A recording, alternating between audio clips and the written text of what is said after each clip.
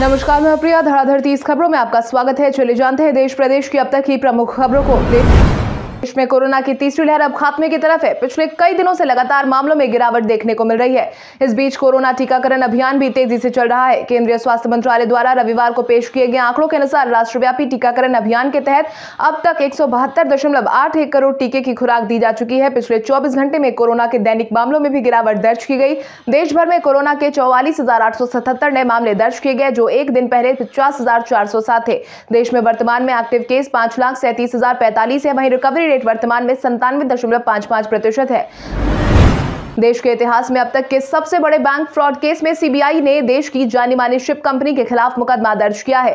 भारत की बड़ी निजी शिपिंग कंपनियों में से एक एबीजी शिपयार्ड लिमिटेड पर 28 बैंकों से कथित तौर पर बाईस करोड़ रुपए की धोखाधड़ी करने का आरोप है। रिपोर्ट के मुताबिक देश में बैंक धोखाधड़ी का ये अब तक की सबसे बड़ी धोखाधड़ी है।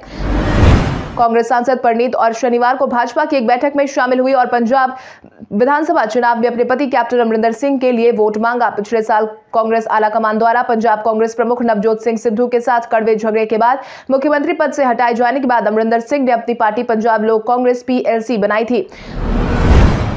ऑल इंडिया मजलिस इतिहादुल मुजलमीन के प्रमुख और लोकसभा सांसद असुद्दीन ओवैसी का कहना है कि एक दिन हिजाब पहनने वाली लड़की भारत की प्रधानमंत्री बनेगी। उनका यह बयान कर्नाटक में जारी हिजाब विवाद के बीच आया है। आपको बता दें कि उड़प्पी के एक सरकारी कॉलेज में मुस्लिम छात्रों के एक समूह को हिजाब पहनने के कारण उनकी क्लास में प्रवेश करने से रोक दिया गया था। राष्ट्रीय लोक दल रालोद के प्रमुख जयंत चौधरी ने रविवार को असम के मुख्यमंत्री हेमंत बिस्वा शर्मा पर कांग्रेस नेता राहुल गांधी के खिलाफ उनकी विवादास्पद टिप्पणी को लेकर निशाना साधा। चौधरी ने कहा कि असम के सीएम ने अभद्र भाषा का इस्तेमाल किया और कहा कि भाजपा नेताओं को समय समय पर दातून या टहनी से मुँह धोना चाहिए। आम आदमी पार्टी ने भारतीय जनता पार्टी के नेता मनजिंदर सिंह सिरसा के खिलाफ केस दर्ज कराया है। शनिवार को पार्टी ने पोल पैनल और पुलिस के सामने मनजिंदर सिंह सिरसा के खिलाफ झूठी जानकारी फैलाने के मामले में शिकायत दर्ज कराई। आम आदमी पार्टी के पंजाब यूनिट ने कहा है कि सिरसा ने अपने ट्विटर हैंडल पर एक न्यूज़ स्टोरी शेयर की, जिसमें दावा किया गया था कि पंजाब में आपकी सरकार बनने के बाद 10 साल पुरानी गाड़ियों को सड़क पर अनुमति नहीं दी जाएगी। यह एक गलत सूचना है। राष्ट्रीय पात्रता सह प्रवेश परीक्षा, नीट परीक्षा को खत्म करने को लेकर के तमिलनाडु सरकार अपने फैसले पर अडिग बनी हुई है। इसी कड़ी में तमिलनाडु के मुख्यमंत्री एम के स्टालिन ने इस परीक्षा में छूट की मांग करते हुए संविधान संशोधन की मांग कर डाली है। तमिलनाडु विधानसभा के विशेष शेष सत्र में स्टालिन ने विधेयक पेश करते हुए कहा कि राज्य सरकार के कामकाज में केंद्र सरकार के हस्तक्षेप को रोकने के लिए संविधान में संशोधन किया जाना चाहिए। बीती आठ फरवरी को मुख्यमंत्री ने विधानसभा में नीट विरोधी विधेयक पेश किया था। एनसीबी ने डार्कनेट के ज़रिए मादक पदार्थों की तस्करी मामले में बड़ा खुलासा किया है। देश भर में हुई छापेमारी में इस मामले में जुड़े 22 लोगों को गिरफ़्तार किया गया।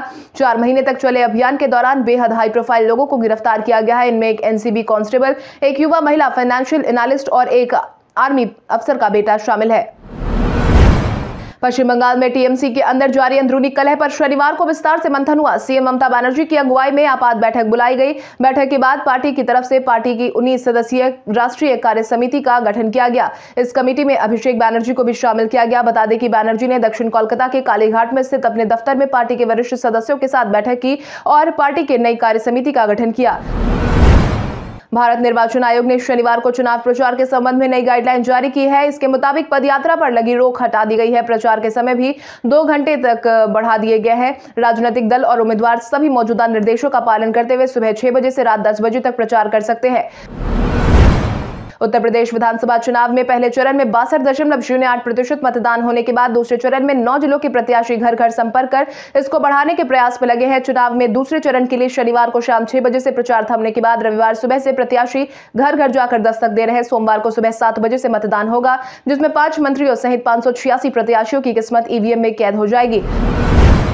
भारत के विदेश मंत्री एस जयशंकर आज से तीन दिवसीय फिलीपींस दौरे पर रवाना होंगे। विदेश मंत्रालय ने अपने आधिकारिक बयान में बताया है कि एस जयशंकर दोनों देश के बीच द्विपक्षीय संबंधों को मज़बूत करने के उद्देश्य से रविवार को फिलीपींस की तीन दिवसीय यात्रा पर जाएँगे। इस यात्रा के दौरान विदेश मंत्री दोनों देश के क्षेत्रीय और अंतर्राष्ट्रीय मुद्दों पर चर्चा करेंगे। उनका यह दौरा तेरह से पंद्रह फरवरी तक चलेगा।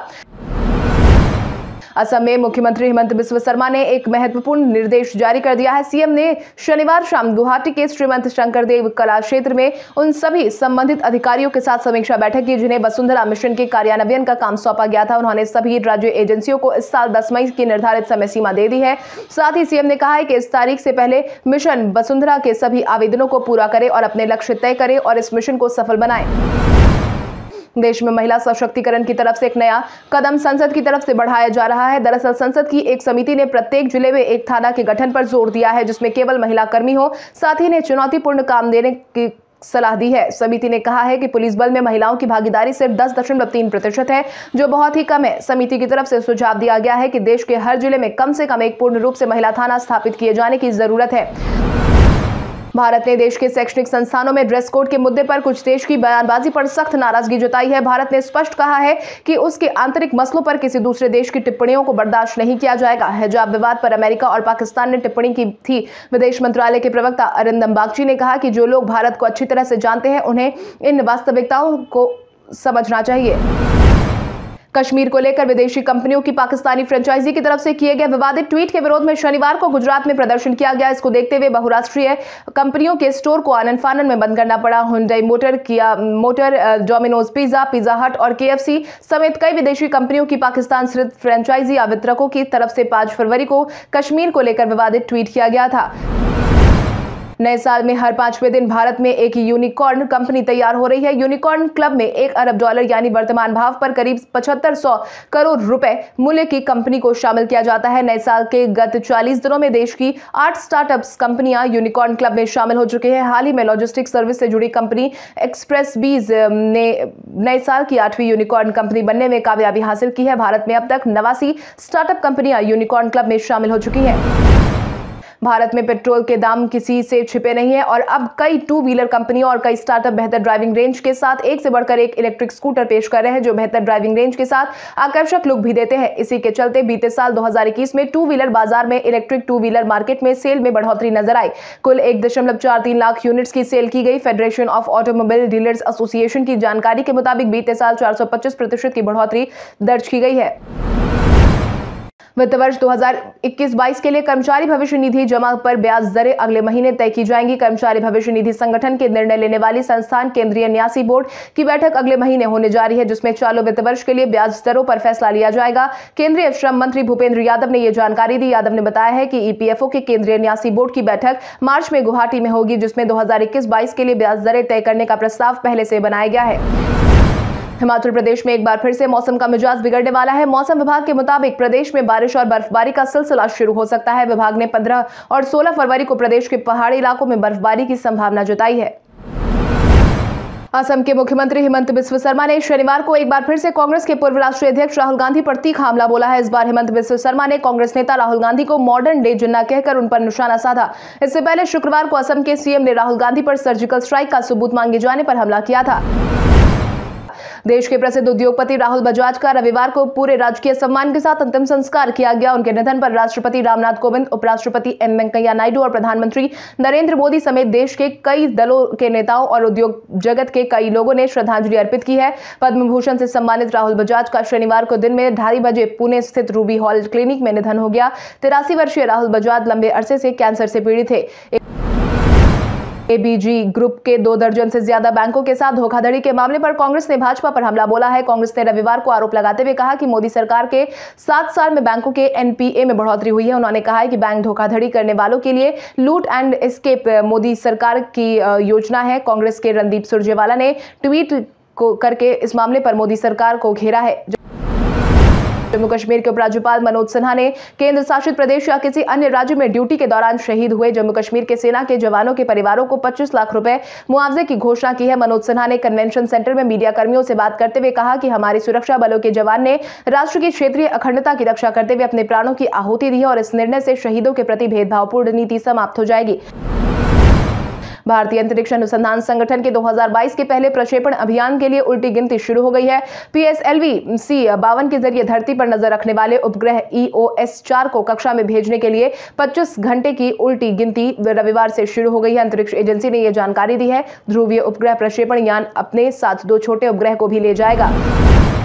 उत्तर प्रदेश विधानसभा चुनाव के दूसरे चरण के चुनाव के लिए मैदान में उतरने वाले उम्मीदवारों में से 114 आठवीं कक्षा तक के पढ़े हैं, जबकि 12 ने खुद को निरक्षर घोषित कर दिया है। चुनाव सुधारों की वकालत करने वाले समूह उत्तर प्रदेश इलेक्शन वॉच और एसोसिएशन फॉर डेमोक्रेटिक रिफॉर्म्स की रिपोर्ट में कहा गया है कि 102 उम्मीदवार स्नातकोत्तर हैं, जबकि पीएचडी करने वाले छह प्रत्याशी भी चुनावी मैदान में हैं। भाजपा निगाहें अब पंजाब पर है, जहाँ पर कल प्रधानमंत्री नरेंद्र मोदी भाजपा प्रत्याशियों के लिए जनसभा करने वाले हैं। प्रधानमंत्री नरेंद्र मोदी 14 फरवरी को जालंधर में पहली जनसभा को संबोधित करेंगे। 16 फरवरी को दूसरी जनसभा पठानकोट में और 17 फरवरी को आबोहर में तीसरी जनसभा को संबोधित करेंगे। मुख्यमंत्री हेमंत बिस्व शर्मा और की तरफ़ से पूर्व प्रधानमंत्री राजीव गांधी और कांग्रेस के पूर्व अध्यक्ष राहुल गांधी पर की गई विवादित टिप्पणी पर विवाद बढ़ता जा रहा है। राहुल गांधी पर निजी हमले को लेकर एनएसयूआई आज असम भवन पर प्रदर्शन करते देखी गई। तो इस मामले में कांग्रेस को समाजवादी पार्टी का भी साथ मिला। पंजाब विधानसभा चुनाव की तारीख जैसे जैसे नज़दीक आती जा रही है, वैसे ही सभी पार्टियों ने चुनाव प्रचार की रफ्तार को तेज कर दिया है। इसी क्रम में आज यानी रविवार को केंद्रीय गृह मंत्री अमित शाह पंजाब में एनडीए गठबंधन के लिए प्रचार करते देखे गए। अमित शाह पटियाला, लुधियाना और अमृतसर में गठबंधन प्रत्याशियों के लिए वोट मांगते देखे गए। मिली जानकारी के अनुसार ये लुधियाना में दोपहर बारह बज के पंद्रह मिनट पर जनता के बीच अपनी बात रखने पहुँचे थे और वोट देने की अपील करते देखे गए। वहीं दोपहर एक बज के पैंतालीस मिनट पर शाह पटियाला पहुँचे, जहाँ पर जनसभा को संबोधित उन्होंने की और उसके बाद शाम साढ़े बजे के आसपास शाह अमृतसर पहुँचे जहाँ जनसभा में वो शामिल हुए। हिजाब को लेकर चल रहे विवाद के बीच सुप्रीम कोर्ट में एक याचिका दायर कर केंद्र सरकार और राज्यों को यह निर्देश देने की मांग की गई है कि वे समानता, गरिमा सुनिश्चित करने के लिए और राष्ट्रीय एकता को बढ़ावा देने के लिए पंजीकृत और राज्य मान्यता प्राप्त शैक्षणिक संस्थानों में एक कॉमन ड्रेस कोड लागू करे। गाजियाबाद निवासी निखिल उपाध्याय द्वारा दायर याचिका में कहा गया है कि सभी को समान अवसर के प्रावधानों के माध्यम से लोकतंत्र के सामाजिक ताने बाने को मज़बूत करने के लिए सार्वभौमिक शिक्षा की भूमिका को हमारे गणतंत्र की स्थापना के बाद से स्वीकार किया गया है। कल हमारे द्वारा पूछे गए सवाल का जवाब आप में से बहुत सारे यूज़र ने हमें कमेंट करके दिया था। उसके लिए आपका बहुत बहुत धन्यवाद। आप में से जिन यूज़र का कमेंट हमें अच्छा लगा है, उनके नाम है Neha Singh, Mrityunjay Kumar singer A K T N Yadav, Munna Yadav, Bhola Prasad, Gajendra Singh, Nunnu Kumar Manikandan Mrityunjay Kumar, Suman Kumar, Rakesh Gupta, Mrityunjay Singh. आप इसी तरह हमारे सवालों का जवाब देते रहे। हम हर दिन वीडियो के अंत में आपका नाम लेने की पूरी कोशिश करेंगे। तो चलिए बढ़ते आज के सवाल की और आज का सवाल कुछ इस प्रकार है। आपके अनुसार देश भर में चल रहे हिजाब विवाद को देखते हुए क्या कॉमन ड्रेस कोड जैसे नियम को लागू कर देना चाहिए या नहीं? अपने जवाब हमें कमेंट करके ज़रूर बताएँ। इसके साथ ही आज के लिए बस इतना ही। देश प्रदेश की तमाम बड़ी खबरों से जुड़े रहने के लिए हमारे यूट्यूब चैनल को सब्सक्राइब करें और बेलाइकॉन